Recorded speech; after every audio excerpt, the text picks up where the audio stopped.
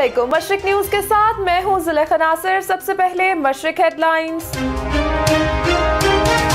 بیرونی سرمایہ کاری لانا ولین ترجیح۔ وفاق کے ساتھ مل کر واٹر پروجیکٹ پر کام شروع کریں گے صوبائی وزراء حکومت سے الگ ہو سکتے ہیں۔ بلوچستان کے قاتل پرویز مشرف کے مقدمات کو تالے لگائے جا رہے ہیں۔ Sardar Akhtar Mengal. B N P کے دھرنے کے بعد سپیکر نے آبران میں گرفتار خواتین کی رہائی کا حکم دے دیا۔ حفاظتی اقدامات کی عدم فراہمی کوئلہ کانوں میں جان لیوا حادثات کا باعث ہے قائمہ کمیٹی۔ بلوچستان ہائی کورٹ نے محکمہ تعلیم نصیر آباد میں ہونے والی بھرتیاں کالعدم قرار دے دی۔ سابق وزیر اعلیٰ بلوچستان کی رہائش گاہ پر نامعلوم افراد کی فائرنگ اوچھے ہتھ کنڈوں سے ہمارے حوصلے پست نہیں کیے جا سکتے۔ ثناء اللہ زہری میڈیا کا گلا گھونچنے کے نتائج انتہائی بھیانک ہوں گے، لشکری رئیسانی۔ بجلی و گیس سے متعلق بلوچستان کے عوام کی شکایات کا فوری ازالہ کیا جائے، جمعیت نظریات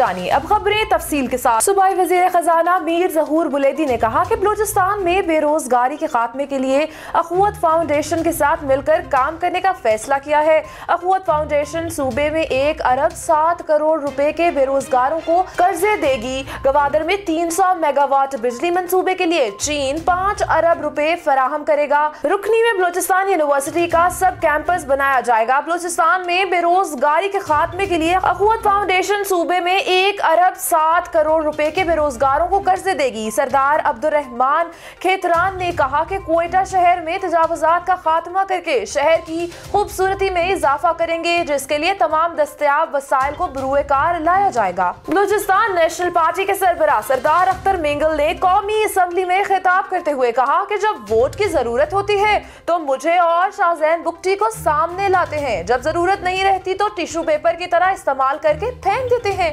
بلوچستان کا مسئلہ سیاسی ہے۔ سیاسی جماعتوں پر مشتمل کمیٹی بنائی جائے تاکہ یہ بلوچستان کا دورہ کر کے مسائل جاننے کی کوشش کریں۔ انہوں نے اجلاس کے بعد میڈیا سے بات چیت کرتے ہوئے کہا کہ حکومتی اتحاد کو بھی اعتماد میں نہیں لیا گیا۔ اپوزیشن بھی ایک پیج پر نہیں، سربراہ الیکشن کمیشن غیر متنازع ہونا چاہیے۔ قومی اسمبلی میں حکومتی اتحادی جماعت بی این پی، مینگل اور اپوزیشن جماعتوں نے اسپیکر کے جانب سے جاری پروڈکشن آرڈرز پر عمل درآمد نہ ہونے اور عوران میں خواتین کی گرفتاری پر احتجاجن ایوان کی کارروائی کے بائیکاٹ کا اعلان کر دیا۔ بی این پی، مینگل اور اپوزیشن کا پروڈکشن آرڈر پر پر عدم عمل درآمد۔ عوران میں خواتین کی گرفتاری پر احتجاجن بائیکاٹ کیا اور اسپیکر ڈائس کے سامنے دھرنا دے دیا۔ ڈپٹی اسپیکر قومی اسمبلی نے وزیر داخلہ کو وضاحت کے لیے طلب کر لیا اور اپوزیشن کی جانب سے بائیکاٹ کے بعد کورم پورا نہ ہونے پر اجلاس ملتوی کر دیا۔ سینٹ کی قائمہ کمیٹی برائے پیٹرولیم کے چیئرمین سینیٹر محسن عزیز نے کہا ہے کہ بلوچستان کے کوئلہ کانوں میں کان مالکان جدید ساز و سامان اور آلات نہ رکھ کر مزدوروں کی جانوں سے کھیل رہے ہیں۔ بلوچستان حکومت کو سنجیدہ اقدامات اٹھانے چاہیے۔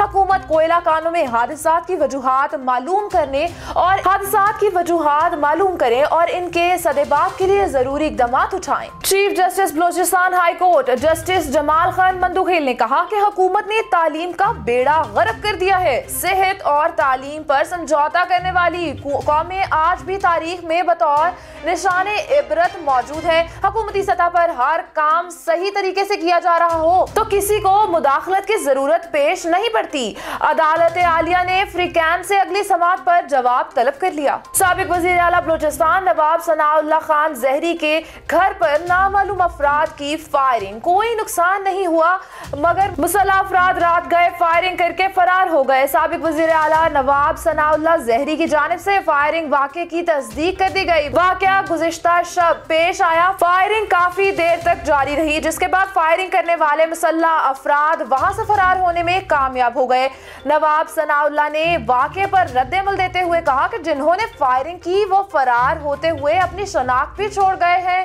چوری چھپے فائرنگ کر کے فرار ہونا ان کی بزدلی کی نشاندہی کرتا ہے۔ بلوچستان نیشنل پارٹی کے مرکزی رہنما سابق سینیٹر نواب زادہ حاجی لشکری رئیسانی نے کہا کہ ملک و قوم کو گرداب کے پھنسے ہوئے بھور سے نکالنے کے لیے عوامی نمائندوں اور میڈیا کو اب کلیدی کردار ادا کرنا ہوگا۔ آج میڈیا پر بھی کڑا وقت ہے۔ ہمیں تمام مشکلات سے نبرد ہونے کے لیے متحد ہو کر آگے بڑھنا ہے۔ نیوز چینلز کے خلاف ناروا اقدامات کی مذمت کرتے ہیں۔ جمعیت علماء اسلام نظریاتی پاکستان کے مرکزی کنوینئر مولانا عبد القادر لونی، مرکزی سیکرٹری اطلاعات حاجی سید عبدالستار شاہ چشتی نے پیٹرولیم اور اوگرا سٹینڈنگ کمیٹی کے بلوچستان کے دورہ کے دوران ان کی توجہ بلوچستان عوام کے ساتھ بعد سوئی سدرن گیس کمپنی کے ظالمانہ جابرانہ اقدامات۔ میٹر ٹیمپرنگ کے بے بنیاد خود ساختہ الزامات پر رد عمل دیتے ہوئے کہا بلوچستان کے باسی بلوچستان سے نکلنے والی گیس سے محروم ہے سردی شروع ہوتے ہی گیس کا